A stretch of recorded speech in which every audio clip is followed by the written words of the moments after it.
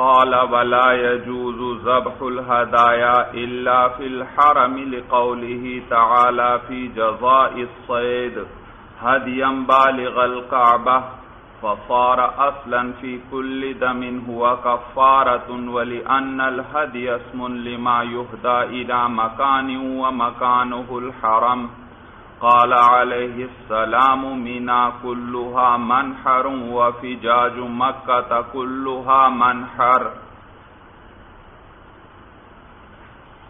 باب الحدی چل رہا ہے۔ تو صاحب قدوری فرماتے ہیں، ولا يجوز ذبح الهدايا الا في الحرم۔ اور حدی کے جو جانور ہیں، ان کو حرم کے علاوہ کہیں اور ذبح کرنا جائز نہیں ہے۔ لقوله تعالی فی جزاء الصید۔ دلیل ذکر کر رہے ہیں، کہتے ہیں، بوجہ اللہ تعالی کے قول کے شکار کی جزا کے بارے میں اللہ فرماتے ہیں حدیم بالغ القعبتی حدی جو پہنچنے والی ہو کعبہ کو یعنی حرم کو۔ فصار اصلا فی کل دم۔ تو یہ جو ہے یہ اللہ تعالیٰ کا قول، اصل ہوا، فی کل دمن ہوا کفارتن، ہر ایسے دم کے اندر جو کہ کفارہ ہے۔ معلوم ہوا کفارے کا ہر دم جو ہے اس کا حرم میں ذبح کرنا ضروری ہے۔ ولی ان الحد یسم الما یحدا الا مکان اور نیز اس لیے کہ کیونکہ حدی جو ہے وہ نام ہے اس جانور کا یہدا الا مکان جس کو منتقل کیا جائے کسی جگہ ایک جگہ سے کوئی کسی دوسری جگہ منتقل کیا جائے، دوسری جگہ اس کو بھیجا جائے۔ وہ مکان الحرام اور اس کی جگہ حرم ہے۔ قال علیہ السلام، حضور صلی اللہ علیہ وسلم فرماتے ہیں مینا کلوہا منحر۔ مینا جو ہے، سارا کا سارا وہ نہر کی جگہ ہے۔ قربانی کی یا ذبح کرنے کی جگہ ہے۔ وہ فجاج مکہ تکلوہا منحر اور مکہ کے راستے جو ہیں، فجاج جمع ہے فج ان کی کشادہ راستے کو کہتے ہیں۔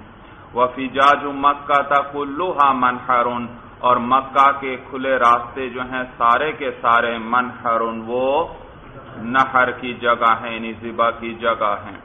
وَيَجُوزُ أَن يَتَصَدَّقَ بِهَا عَلَى مَسَاكِينِ الْحَرَمِ وَغَيْرِهِمْ اور جائز ہے کہ وہ ان کو صدقہ کرے حرم کے مسکینوں پر وغیرہم اور ان کے علاوہ پر۔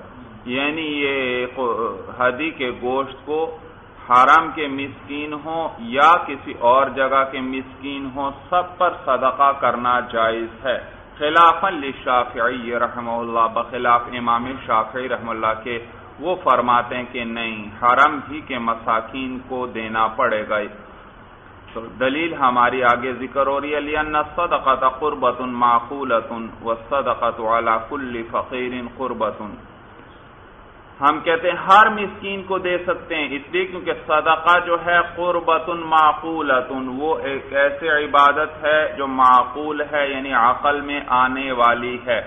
عقل میں آنے والی ہے۔ کیونکہ صدقہ جب کیا جائے گا، مسکین کو جب اس مال کا یا اس چیز کا مالک بنایا جائے گا، تو اس کی حاجت پوری ہوگی، اس کی تکلیف دور ہوگی۔ اور، یہ چاہے حرم میں ہو یا حرم سے باہر ہو، ہر جگہ پر یہ فائدہ حاصل ہوگا۔ اور مسکین کی حاجت دور کرنا یہ عبادت ہے۔ تو کہتے ہیں، لِأَنَّ صدقہ قربت معقولت اس لیے کیونکہ صدقہ جو ہے وہ ایسی عبادت ہے جو معقول ہے یعنی عقل میں آنے والی ہے۔ وہ صدقت والا کل فقیر اور صدقہ کرنا ہر فقیر پر یہ عبادت ہے۔ قال ولا یجب التعریف بالہدایا صاحب قدوری فرماتے ہیں کہ ہدایا جو ہے یعنی حدی کے جو جانور ہیں، ان کی تعریف واجب نہیں ہے۔ تعریف بھائی تعریف کے دو معنی ہیں۔ ایک تو عرف یعرف تعریف کا معنی ہے حدی کے جانور کو عرفات لے جانا۔ تو یہ عرفات لے جانا اسی سے ہے تعریف۔ دیکھیے وہی مادہ عین رافا اس میں آ رہے ہیں۔ تو تعریف کا ایک معنی کیا ہوا؟ حدی کے جانور کو عرفات لے جانا۔ اور تعریف کا دوسرا معنی عرف یعرف تعریف کا معنی ہے پہچان کروانا یعنی مشہور کرنا۔ اور معنی یہ ہے کہ ہدی کے جانور کے گلے میں قلادہ پہنایا جائے، جیسے آپ پہلے پڑھ چکے کہ کیا طریقہ تھا کہ ہدی کے جانور کے گلے میں کوئی پرانا چمڑے کا ہے جوتے کا ٹکڑا وغیرہ یا اس طرح کی کوئی چیز لٹکا دی جاتی تھی جس سے دیکھنے والوں کو پتا چل جاتا تھا کہ یہ ہدی کا جانور ہے جسے حرام ذبح کرنے کے لیے لے جایا جا رہا ہے۔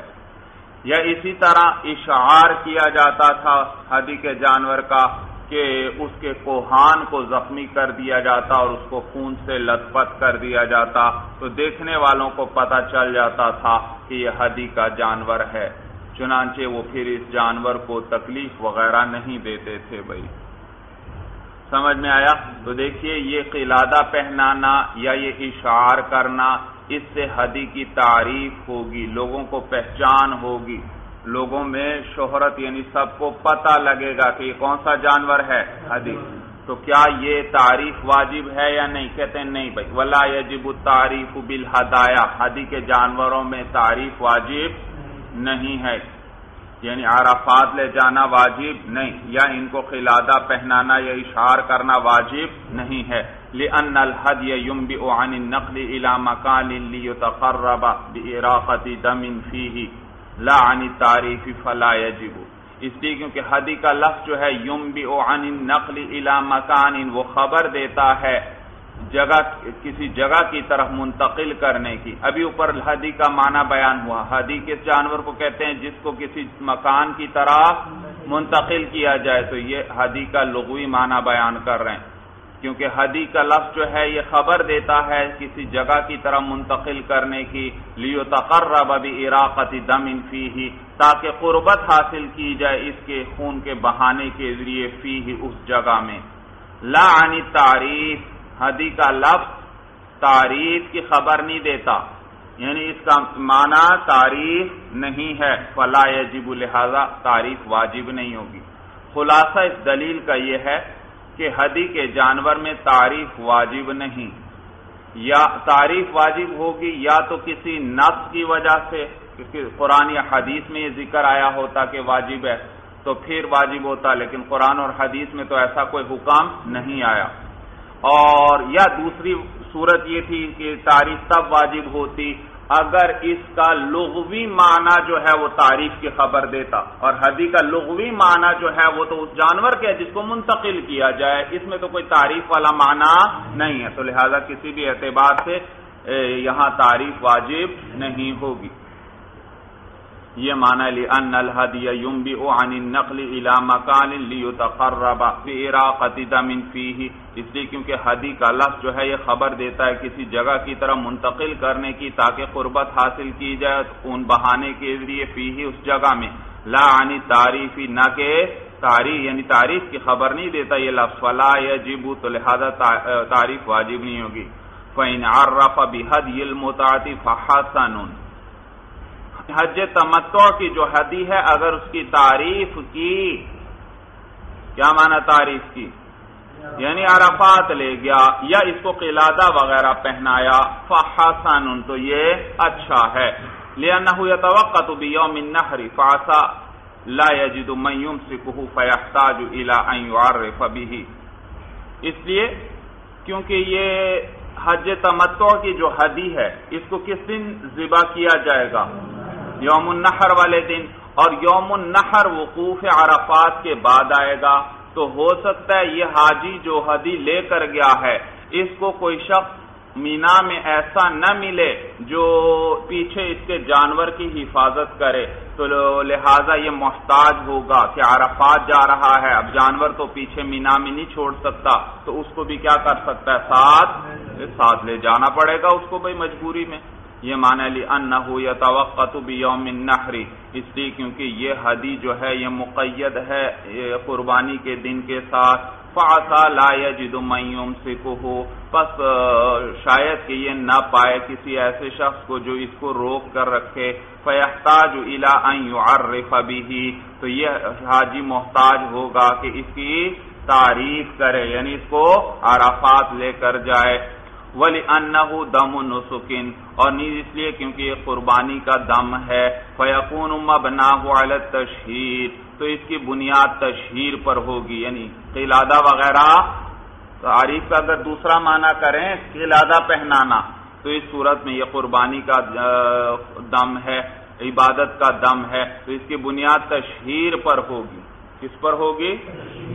تشہیر پر ہوگی، دوسروں کو تاکہ دوسرے بھی دیکھیں اور ان کو بھی رغبت حاصل ہو۔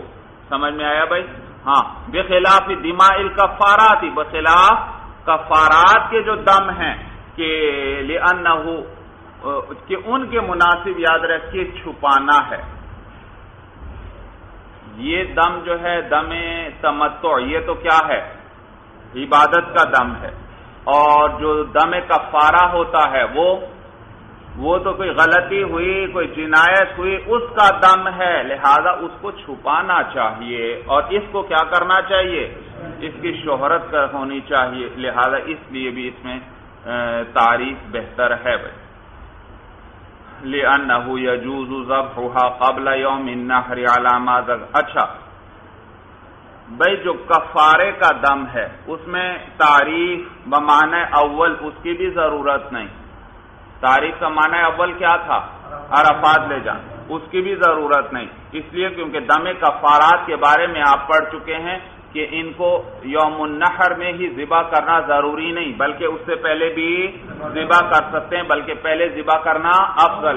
لہذا اگر یہ عرفات جا رہا ہے، اس کو کوئی نہیں ملتا جس کے پاس جانور چھوڑ کر جائے۔ اور جانور کون سا ہے؟ دم کفارہ کے لیے اس نے لیا۔ تو یہ اس کو تو پہلے بھی کوئی نہیں ملتا تو کوئی حرج نہیں۔ اس کو پہلے ہی کیا کر لے؟ ذبح کر لے بھائی۔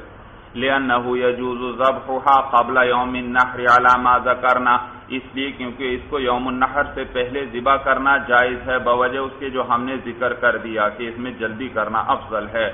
وَسَبَبُهُ الْجِنَایَةُ فَيَلِيقُ بِهِ السَّتْرُ اور اس کا دم کا سبب جو ہے وہ جنایت ہے، وہ جرم ہے فَيَلِيقُ بِهِ السَّتْرُ تو اس کے مناسب جو ہے وہ سطر ہے، چھپانا ہے کہ تو اس کو قلادہ وغیرہ نہیں پہنایا جائے گا۔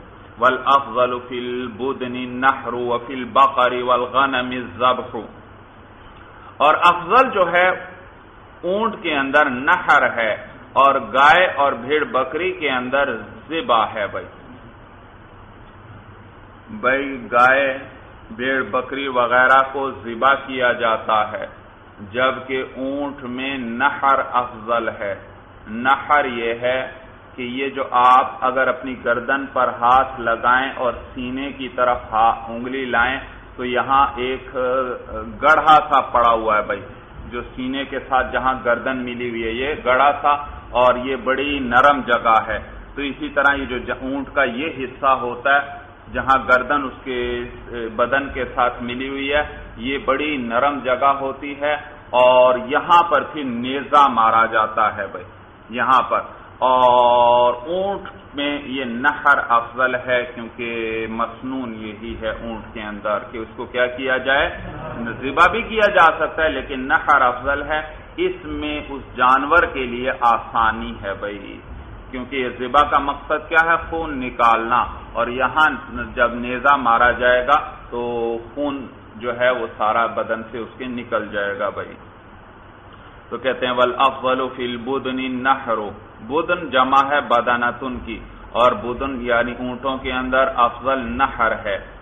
بدنے کا اطلاق ویسے تو اونٹ اور گائے وغیرہ ان دونوں پر ہوتا ہے۔ لیکن یہاں چونکہ آگے بقر کا الگ ذکر آ رہا ہے، لہذا یہاں بدنے سے کیا مراد ہے؟ صرف اونٹ مراد ہے۔ تو کہتے ہیں ول افضل فل بدن نہرو اور افضل جو ہے بدنے کے اندر نہر ہے۔ وہ فل بقر غنم ضبح اور گائے بیل اور بھیڑ بکری کے اندر ذبا ہے۔ لقول ہی تعالی اللہ تعالیٰ کے اس قول کی وجہ سے اللہ قرآن میں فرماتے ہیں، فصل ربی کا ون ہر بس آپ اپنے پروردگار کے لیے نماز پڑھیے۔ ون ہر اور نہر کیجیے۔ قیلفی تعویلی ہل جزور کہا گیا ہے اس کی تعویل یعنی تفسیر میں۔ تعویل کا کیا مانا تفسیر۔ اس کی تفسیر میں جزور کہا گیا ہے۔ جزور کہتے ہیں اونٹ کو بھائی۔ تو قربانی کے لیے جو اونٹ ہو، تو اس کی تعویل میں جزور یعنی اونٹ کہا گیا۔ یعنی اس کی تفسیر اونٹ کے ساتھ کی گئی ہے۔ کہ ون ہر ون ہرل جزورا کے نہر کیجیے اونٹ کا۔ وقال اللہ تعالی، اور اللہ تعالی قرآن میں فرماتے ہیں انتظ بخو بقارا کہ تم بقارا اور یہ کہ تم ذبا کرو بقارا کو۔ تو دیکھیے، اونٹ کے بارے میں نہر کا لفظ ذکر ہوا قرآن میں، اور بقرہ کے لیے ذبح کا۔ اور تو یہ وقال اللہ تعالی، اور اللہ تعالیٰ فرماتے ہیں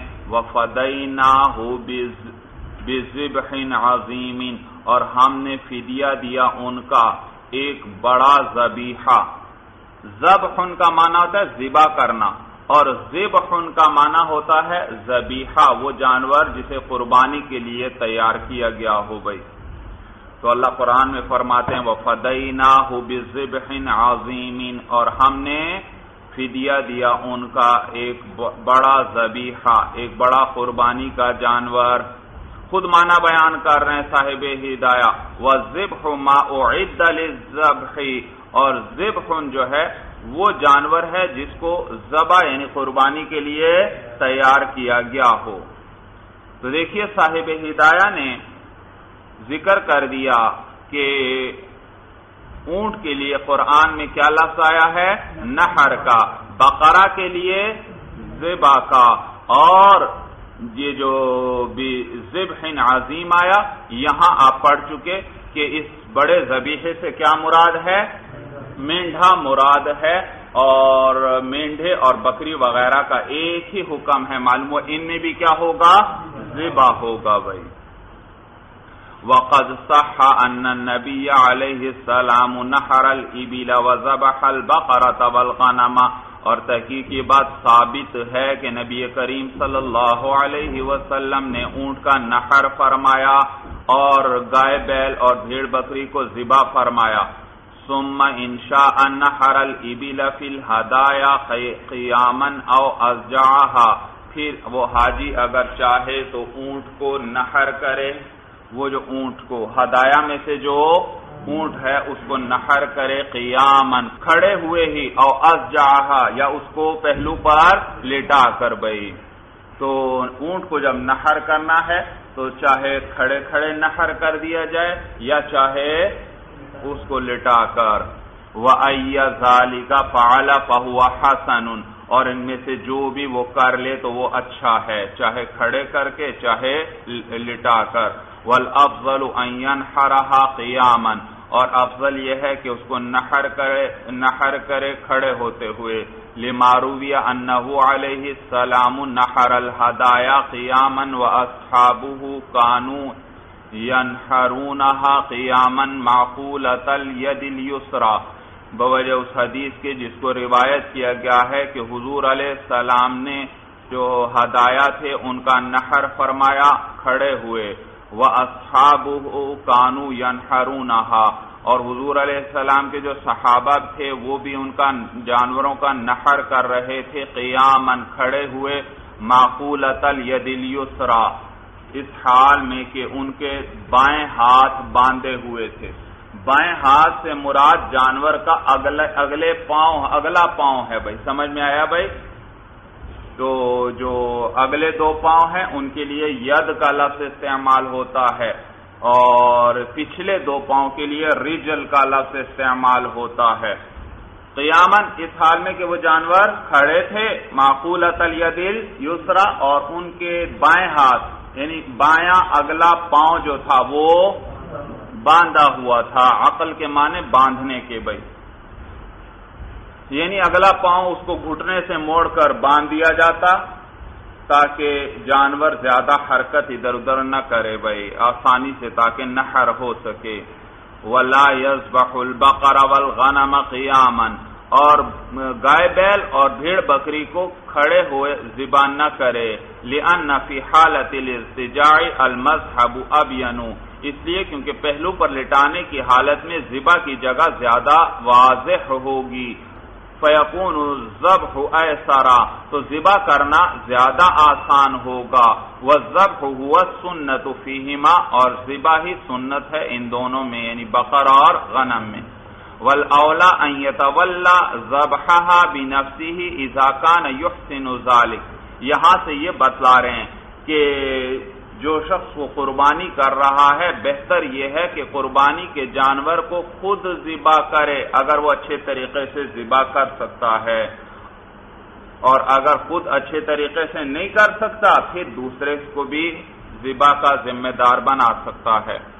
ول اولا ولہ ضب بنفسی ہی اضاکہ نئی اور بہتر یہ ہے کہ متولی ہو اس بدنے کے ذبا کا خود بھائی اور بہتر یہ ہے کہ اس جانور کے ذبا کا خود متولی ہو یعنی خود اس کی ذمہ داری لے۔ اضاکان یحسن کا جبکہ وہ اس کو اچھے طریقے سے کر سکے۔ لمارویہ ان نبی علیہ السلام صاف میعت بدنت فی حجت الوداع فنحر نیفا وستین بنفسه وول الباقی علی رضی اللہ تعالی عنہ۔ بوجہ اس حدیث کے جس کو روایت کیا گیا ہے کہ نبی کریم صلی اللہ علیہ وسلم نے ساق میعت بدنت آپ نے ہانکا سو بدنوں کو فی حجت الوداع حجت الوداع حجت الوداع میں۔ یعنی آپ لے کر گئے حجت الوداع میں، سو بدنے لے کر گئے۔ فنحر نیفوں و ستین بنفسی ہی پس آپ نے نہر فرمایا، ساٹھ سے کچھ زائد کا بنفسی ہی خود۔ نیف یاد رکھیے، اس کا اطلاق جو ہے یہ ایک سے لے کر تین تک ہوتا ہے اور دہائی سے زائد کے لیے یہ استعمال ہوتا ہے۔ تو دہائی دیکھو ساٹھ آ گئی اور ساٹھ سے کچھ اوپر یعنی ایک سے لے کر تین تک زائد۔ جبکہ بعض نے کہا کہ اس کا اطلاق دس سے کم پر ہوتا ہے۔ تو ساٹھ سے کچھ زائد یعنی ایک سے لے کر نو تک اور وہ کتنے ہیں وہ یہاں بیان نہیں ہوئے، لیکن دیگر روایات سے پتا چلتا ہے کہ حضور علیہ السلام نے تریسٹھ اونٹ جو ہیں وہ خود نہر فرمائے تھے بھائی، تریسٹھ اونٹ، حجت الوداع کے موقع پر بھائی۔ تو یہاں یہ معلوم ہوا نیف سے کتنے مراد ہیں؟ تین مراد ہیں یہاں پر۔ یہ مانا ہے کہ حضور علیہ السلام لے گئے تھے سو بدن حجت الوداع میں فنا ہارا نئی و ستین ابھی نفسی ہی تو آپ نے ساٹھ سے کچھ زائد خود نہر ان کا فرمایا ول باقی علی اور ولی بنا دیا باقی کا علی رضی اللہ تعالی عنہ کو۔ یعنی باقی کا ذمہ دار جو ہے، حضرت علی رضی اللہ تعالی عنہ کو بنا دیا۔ حضور علیہ السلام یہ سو اونٹ لے گئے تھے بھائی، اور آپ نے ان سب کی ان کی قربانی وہاں کی، اور تریسٹھ اونٹ جو تھے ان کا نہر آپ نے فرمایا، نہر آپ نے فرمایا۔ اور اس میں اشارہ بھی تھا آپ کی عمر مبارک کی طرف کہ آپ کی عمر بھی کتنی ہوئی تھی؟ تریسٹھ سال بھائی، تریسٹھ سال۔ اور اس وقت لوگوں نے عجیب منظر دیکھا بھائی کہ حضور علیہ السلام ایک اونٹ کا نہر فرماتے تھے تو دوسرا اونٹ دوڑتا ہوا آتا اور حضور صلی اللہ علیہ وسلم کے پاس آ کر کھڑا ہو جاتا۔ آپ اس کو نہر فرماتے تو فوراً تیسرا اونٹ دوڑتا ہوا آتا، آپ کے پاس آ کر کھڑا ہو جاتا۔ جیسے بے چین ہو کہ اس کو اس کو یہ عظیم سعادت مل جائے کہ سرور کونین صلی اللہ علیہ وسلم اس کا نحر فرما دیں بھائی اللہ کے راستے میں۔ تو باقی کا پھر حضرت علی رضی اللہ تعالیٰ عنہ کو حضور صلی اللہ علیہ وسلم نے ذمہ دار بنایا۔ ولی ان قربت اور نیز اس لیے کیونکہ یہ قربانی جو ہے یہ عبادت ہے۔ وہ تولی فی القربات اولا اور متولی ہونا عبادتوں کے اندر یہ بہتر ہے کہ خود انسان ذمہ داری لے۔ لما فی من زیادت الخشوع اس لیے کیونکہ اس کے اندر خوشوع کی خوشوع کی زیادتی ہے۔ جب خود اپنی طرف سے قربانی پیش کر رہے تو یقیناً بڑے خوشو خضو کے ساتھ اللہ کے سامنے اس کو نہر کرے گا یا ذبح کرے گا، جبکہ کوئی اور کرے گا، وہ اس طرح نہیں بھائی۔ اللہ ان انسان قدلہ یہ ذالک مگر یہ کہ انسان جو ہے کبھی اس کی طرف راہ نہیں پاتا ولا یحسنہ اور اس کو اچھے طریقے سے نہیں کر سکتا۔ فجوزناہ تولیت غیرہ تو ہم نے جائز قرار دیا دوسرے کو متولی بنانے کو کہ دوسرے کو بھی کیا کر سکتا ہے؟ اس ذبح کا متولی بنا سکتا ہے۔ قال ويتصدق بجلالها وخطامها اور وہ شخص جو ہے وہ حاجی صدقہ کرے۔ بجلالها وخطامها جلال جمع ہے جلن کی اور جلن کہتے ہیں جھول کو، جھول۔ جھول وہ کپڑا جو جانور کے اوپر ڈالا جاتا ہے بھائی۔ وہ اور خطام جو ہے وہ اونٹ کی مہار۔ وہ رسی جس کے ساتھ آگے اونٹ کو پکڑ کر چلتے ہیں، وہ اسے خطام کہتے ہیں بھائی۔ تو کہتے ہیں وہ تصدق بھی جلا و اور صدقہ کر دے ان جانوروں کی جھول جو ان کے اوپر کپڑا ڈالا جاتا تھا ان کو بھی صدقہ کر دے۔ وہ خطامیہ اور ان کی جو مہار ہے یعنی رسیاں ہیں، ان کو بھی۔ ولا یوتی اجرت الجزار منہا اور اس میں سے قصاب کی اجرت نہ دے۔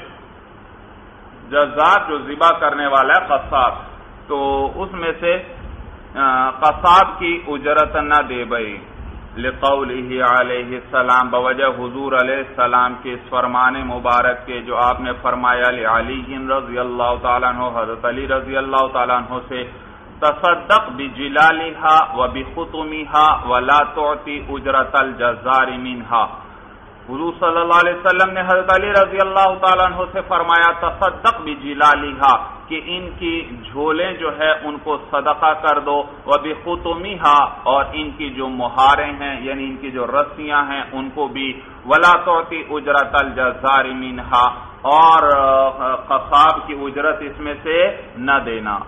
ومن ساق بدنة فاضطر الى ركوبها ركبها وان استغنى عن ذلك لم يركبها۔ یہاں سے یہ بتلا رہے ہیں کہ کوئی شخص اگر قربانی کے جانور کو مثلا اونٹ وغیرہ کو لے گیا لے گیا۔ تو اگر ضرورت نہیں ہے، تو پھر اس اونٹ پر اس کو سوار نہیں ہونا چاہیے۔ اس اونٹ کو اس نے اللہ کی رضا کے لیے کر دیا ہے۔ تو لہذا اس سے خود کسی طرح کا نفع نہ اٹھائے۔ لیکن اگر مجبوری ہو، تو پھر اس پر سوار ہو سکتا ہے۔ پھر اس پر سوار ہو سکتا ہے۔ اور کوئی سواری وغیرہ کا جانور نہیں ہے اور خود چلنا مشکل ہے، تو سوار ہو سکتا ہے۔ تو کہتے ہیں وہ من سا بدنا تن اور جو بدنا لے کر چلا الا رکو بھی تو وہ مجبور ہو گیا اس کی سواری کی طرف راکی بہا تو اس پر سوار ہو جائے۔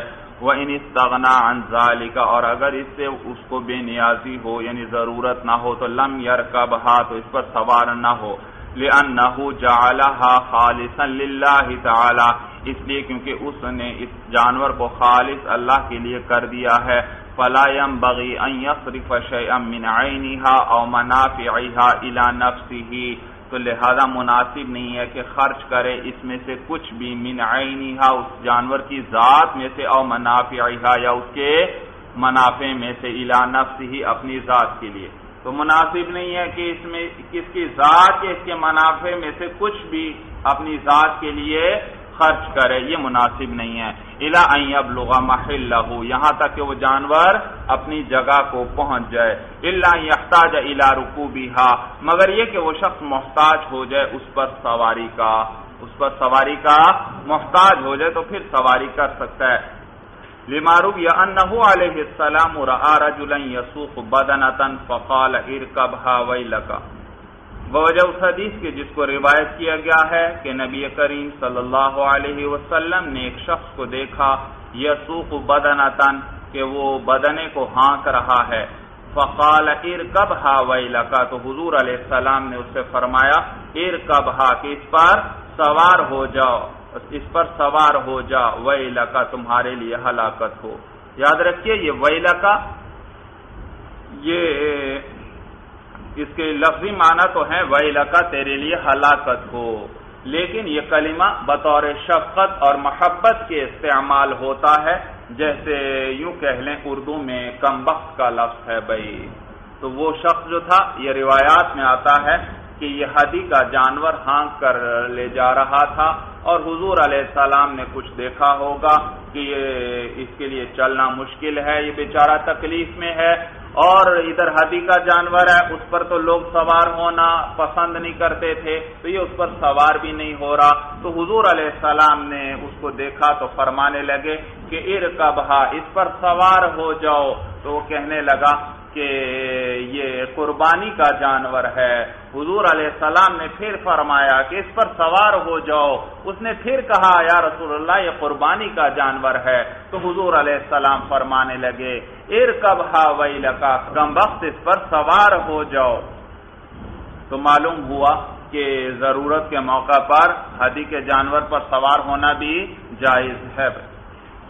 تو کہتے ہیں، لما رویا انہو علیہ السلام رآ رجلن. بوجہ اس کے جس کے روایت کیا گیا کہ حضور علیہ السلام نے دیکھا رآ رجلن، ایک شخص کو، یسوق بدنا تن کہ وہ بدنا ہانک رہا ہے فقال ارکب حاویلکا تو آپ نے اس سے فرمایا، ارکب حاویلکا کم بخت سوار ہو جاؤ۔ وہ تعویل اور تعویل اس حدیث کی یہ ہے کہ انہو کان عاجزا محتاجا، کہ وہ شخص کیا تھا؟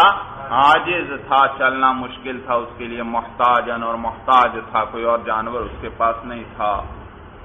ولو رکی بہا پنت قصب رکوبی ہی فالے ہی زمان مان قسم ذالک وَإِن كَانَ لَهَا لَبَنٌ لَمْ يَحْلِبْهَا۔ بھئی صورت یہ، آپ نے پڑھ لیا کہ دھادی کے جانور پر ضرورت کی وجہ سے سوار ہوا جا سکتا ہے۔ اگر وہ شخص سوار ہوا اور اس کے سوار ہونے کی وجہ سے جانور کو کوئی نقصان پہنچا، تو کہتے ہیں بھائی اس کی وجہ سے جانور کی قیمت میں جتنی کمی آئے گی، اس کا زمان اس کو دینا پڑے گا بھائی۔ اور اگر اس جانور کا دودھ ہو، تو پھر وہ دودھ نہ نکالے بھائی۔ دودھ نہ نکالے بھائی، کیونکہ اس سے نفع اٹھانا اس کے لیے جائز نہیں۔ تو کہتے ہیں، ولو رکی بہا پنتا قصا بھی رکو بھی فعال ہی زمان۔ اور اگر وہ شخص اس جانور پر سوار ہوا تو وہ جانور کم ہو گیا یعنی اس میں نقص آ گیا اس کے سوار ہونے کی وجہ سے۔ تو اس جانور میں نقص آ گیا اس کے سوار ہونے کی وجہ سے۔ فعال ہی زمان اما قسم ذالک تو اس شخص پر زمان ہے اس کا جو نقصان آیا سوار ہونے کی وجہ سے۔ وہ انکان اللہ لبن، اور اگر اس جانور کا دودھ ہے، لم یا بہا تو اس کا دودھ نہ دوہے یعنی دودھ نہ نکالے لن لبن متولد منہا فلا یصرف ہوئی الا حاجت نفسی اس لیے کیونکہ یہ دودھ جو ہے، اسی جانور سے پیدا ہوا ہے، تو لہذا اس کو خرچ نہ کرے، اپنی ذاتی ضرورت میں۔ وَيَنْزَحُ زَرْعَهَا بِالْمَاءِ الْبَارِدِ حَتَّى يَنْقَطِعَ اللَّبَنَ۔ نزحہ کے معنی ہوتے ہیں چھینٹے مارنا۔ وین ذاہو زر اور چھینٹے مارے اس جانور کے تھن پر۔ بل ما الباری ٹھنڈے پانی کے۔ حتا ینقطع اللبن۔ یہاں تک کہ دودھ جو ہے منقطع ہو جائے۔ یہاں تک کہ وہ دودھ یعنی خشک ہو جائے۔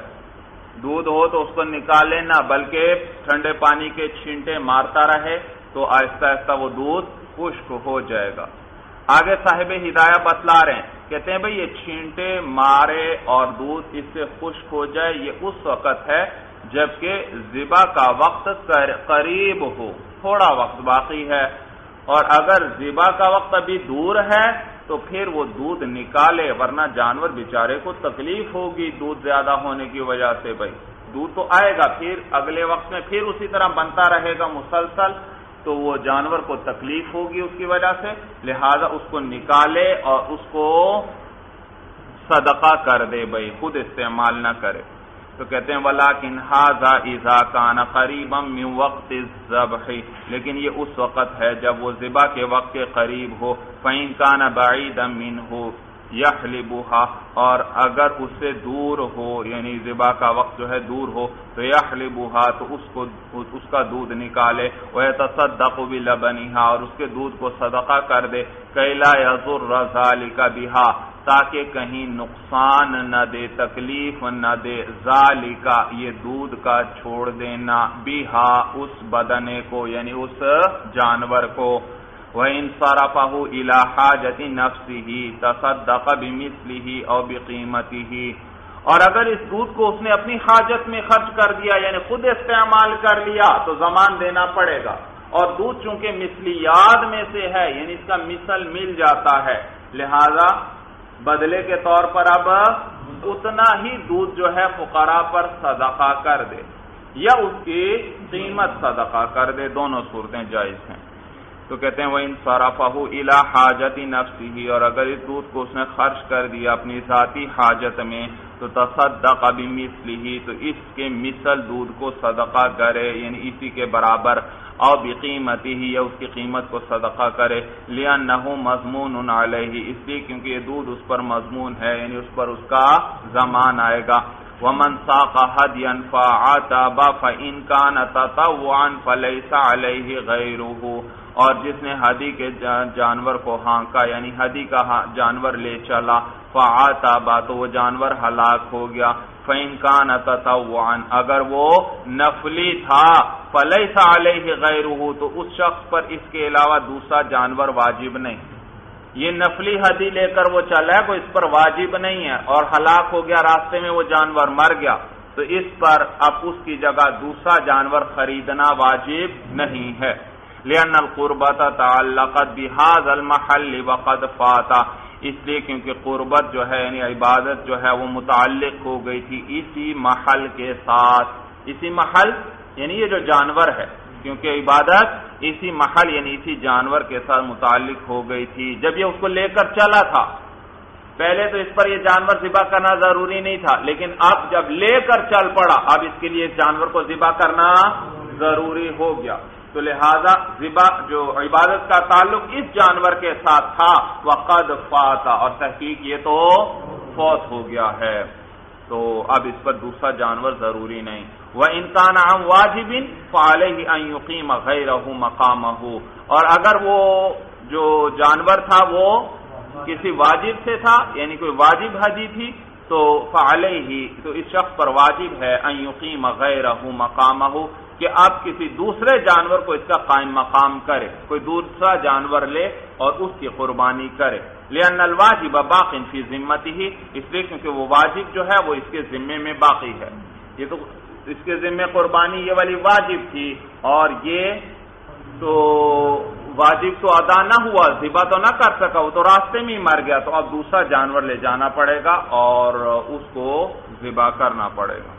وہ ان افا بہو عیب ان کثیر یقام غیر مقام اور اگر اس جانور کو عیب کثیر پہنچ گیا، بہت زیادہ عیب اس میں پیدا ہو گیا، تو یقام غیر مقام ہو تو کسی دوسرے کو اس کا قائم مقام کیا جائے گا۔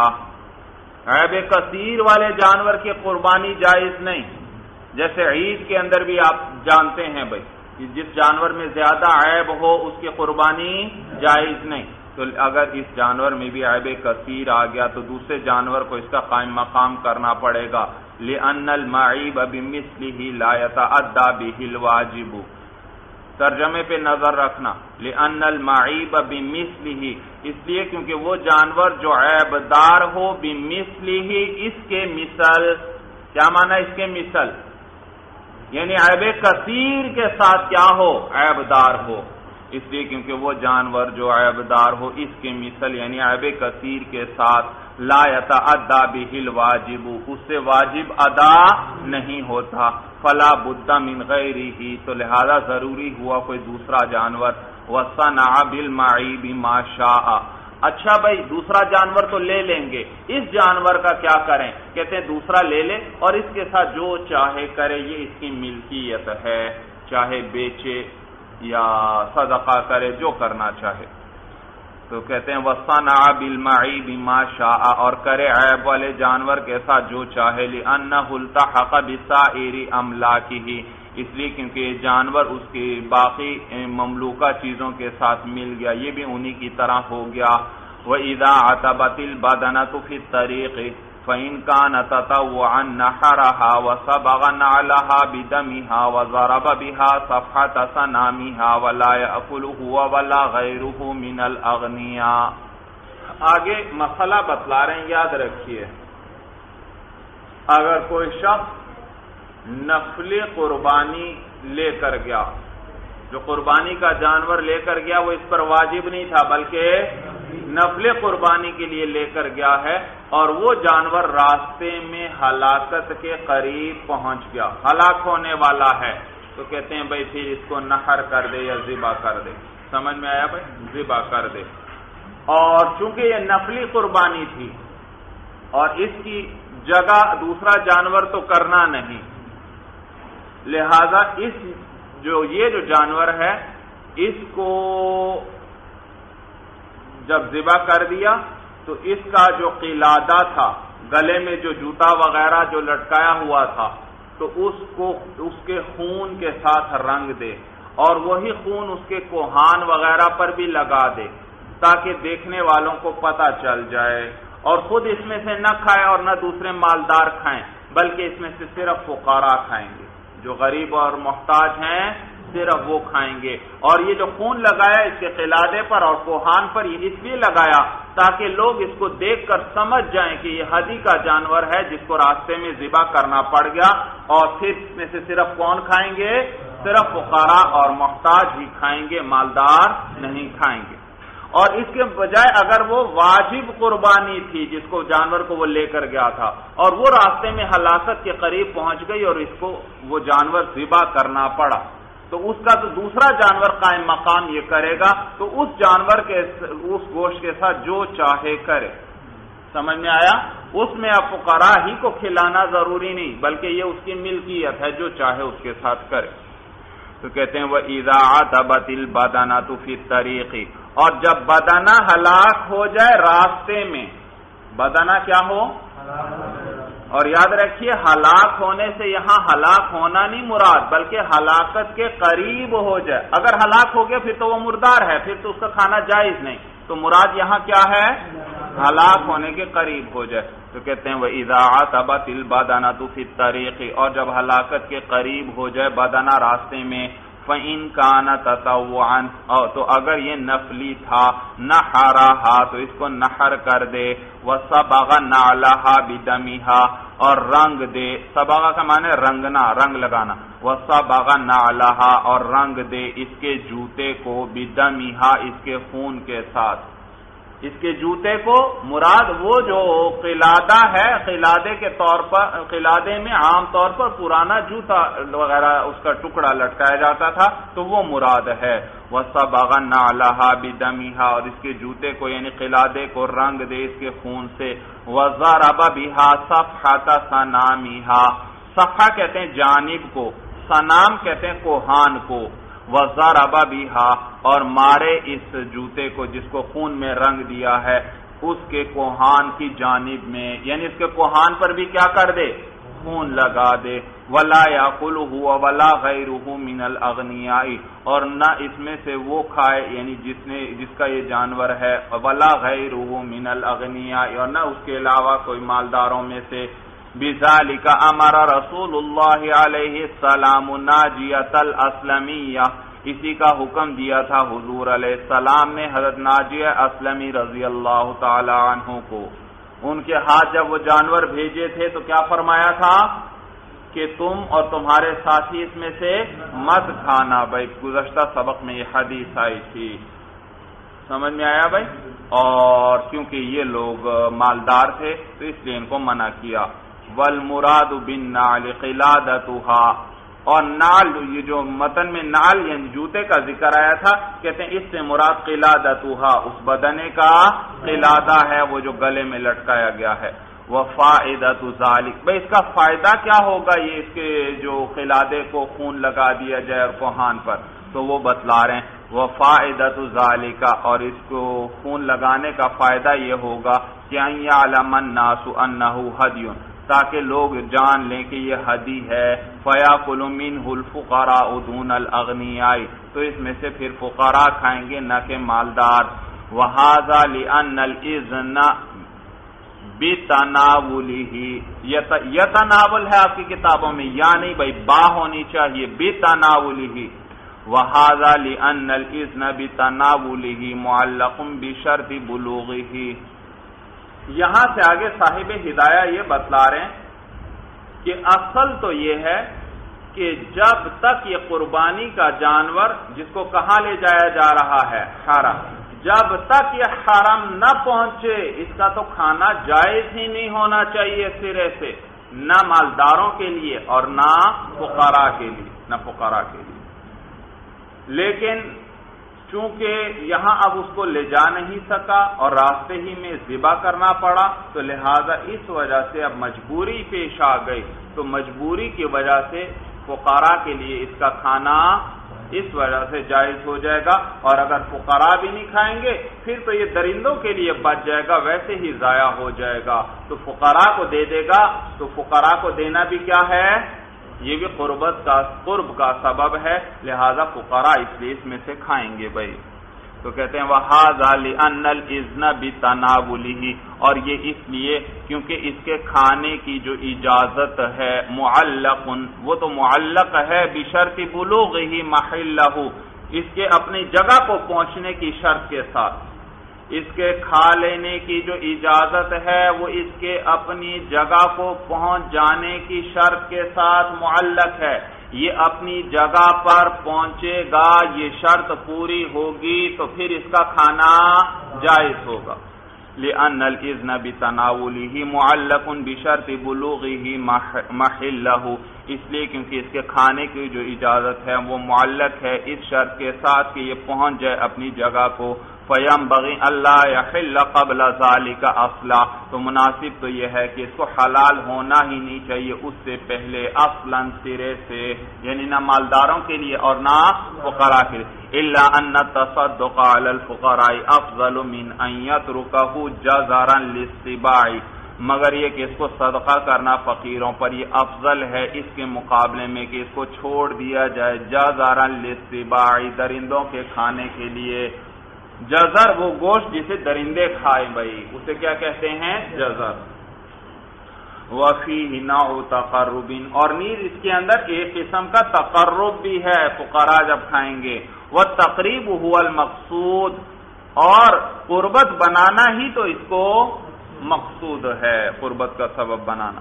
فین کانت واجبت اقام غیرہا مقامہا اور اگر وہ حدی جو تھی وہ واجب تھی جو مرنے کے قریب ہو گئی اور ذبح کرنا پڑا، تو اقام غیرہا مقامہا، تو دوسرے جانور کو اس کا قائم مقام کرے وفا بہا ماشا اور اس کے ساتھ جو چاہے کرے لیا لم یبقى صالحا لما عینہو اس لیے کیونکہ یہ باقی نہ رہا اس طور پر کہ اس میں صلاحیت ہو اس چیز کی جس کے لیے اس نے معین کیا تھا۔ اس لیے تو کس، اس نے تو کس کے لیے متعین کیا تھا؟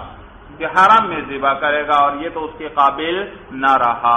وہ تو کہتے ہیں اس کے ساتھ جو چاہے کرے۔ وہ ہوا ملک ہو اور یہ اس کی ملکیت ہے کہ سائری املا کی ہی، جیسے کہ اس کے باقی ساری مملوکہ چیزیں ہیں۔ وہ یوقل حدیت والمتعتی والقران اور تقلید کرے نفلی حدی کی بھی اور متع یعنی حج تمتع کی حدی کی بھی والقرانی اور قران کی حدی کی بھی تقلید کرے یعنی اس کو قلادہ پہنائے۔ لیا دم النسکن اس لیے کیونکہ عبادت کا دم ہے وہ پھر تقلید اظہار ہو اور تقلید کے اندر اس کا اظہار ہے بھائی، تاکہ دیکھنے والوں کو بھی پتا چلے یہ کون سا جانور ہے؟ قربانی کا جانور ہے۔ وہ تشہیر ہو تو کہتے ہیں وہ تقلیدی اظہار ہو و تشہیر ہو اور قلادہ پہنانے کے اندر اس بات کا اظہار ہے وہ تشہیر ہو اور اس بات کی شہرت کرنا ہے فیلی بھی تو وہ اس کے لائق ہے۔ ولا یقلد دم الاحصار ولا دم الجنایاتی اور تقلید نہ کرے دم احصار کی اور نہ دم جنایات کی۔ جنایتوں کے جو دم ہیں یا اسی طرح جو دم احصار ہے، ان کی تقلید نہ کرے یعنی ان کو قلادہ نہ پہنائے۔ سبب حل جنایت اس لیے کیونکہ ان کا سبب کیا ہے؟ جنایت ہے۔ وہ سطر القبیہ اور سطر یعنی چھپانا اس کے زیادہ مناسب ہے، کیونکہ تو جرم کی وجہ سے اس پر واجب ہوئے ہیں۔ تو چھپانا اس کے زیادہ مناسب ہے۔ وہ دم الحصار یہاں سے سوال کا جواب دے رہے ہیں۔ کہ باقی میں تو اس نے جرم کیے تھے، ٹھیک ہے۔ یہ دم احسار میں تو اس کا کوئی جرم نہیں۔ اس کے سامنے کیا گیا تھا؟ دشمن آیا تھا یا مرض تھا جس کی وجہ سے جا نہ سکا؟ تو اس میں تو کوئی جنایت نہیں ہے۔ کہتے ہیں، بھائی، دم الحساری جا دم احسار بھی تلافی کرنے والا ہے۔ تلافی کرنے والا۔ ایک کمی کی۔ اور وہ کیا کمی؟ وہ حرام نہیں جا سکا۔ اس نے تو احرام باندھا تھا کہ میں کہاں جا کر افعال ادا کروں گا؟ حرام تو لہذا یہ بھی ایک جو نقصان آیا تھا بڑا اس کی تلافی کے لیے ہے۔ فی الحق بھی تو اس کو بھی اس کی جنس کے ساتھ ملایا جائے گا۔ لہذا اس کا بھی وہی حکم، اور باقی دمے کا فارات کو تو چھپایا جاتا ہے، تو اس کو بھی چھپایا جائے۔ ذکر الحد یا و مراد البادانہ تو یہاں سے بتلا رہے ہیں کہ وَيُقَلِّدُ هَدْيَ التَّطَوُّعِ وَالْمُتْعَةِ وَالْقِرَانِ۔ پچھلے متن میں آیا تھا بھائی، ایک سطر پہلے۔ وَيُقَلِّدُ هَدْيَ التَّطَوُّعِ وَالْمُتْعَةِ وَالْقِرَانِ۔ یہ ایک سطر جو پہلے آیا۔ تو اس میں دیکھیے حدی کا ذکر ہے اور اس کو قلادہ پہنانے کی بات ہو رہی ہے۔ صاحب ہدایہ بتلا رہے ہیں کہ بھائی حدی بول کر یہاں بدنا مراد ہے، کیونکہ قلادہ صرف کس کو پہنایا جاتا ہے؟ بدنے کو یعنی گائے بیل ہو یا اونٹ ہو، بھیڑ بکری ہو اگر، تو اس کو قلادہ نہیں پہنایا جاتا۔ تو کہتے ہیں سم مزہ کر الحدیہ و مراد اہل بدانا تو پھر صاحب قدوری نے ہادی کو ذکر کیا اور ان کی مراد جو ہے وہ بدانا ہے۔ لِأَنَّهُ لَا يُقَلَّدُ الشَّاةُ عَادَةً۔ اس لیے کیونکہ قلادہ نہیں پہنایا جاتا، بھیڑ بکری کو عادتاً یعنی عام طور پر، وَلَا يُسَنُّ تَقْلِيدُهُ عِنْدَنَا۔ اور اس کی، اس کو، اس کی تقلید جو ہے یعنی اس کو قلادہ پہنانا مسنون بھی نہیں ہے ہمارے نزدیک۔ لعدمی فائدت تقلید اس لیے کیونکہ اس کو قلادہ پہنانے کا کوئی فائدہ نہیں ہے علامہ تقدمہ بوجہ اس کے جو پہلے ذکر ہو، جو پہلے گزر گیا، واللہ علم اور اللہ خوب جاننے والے ہیں۔ چلیے بس بھائی ہادہ المرام اللہ علم بحقیقت الکلام۔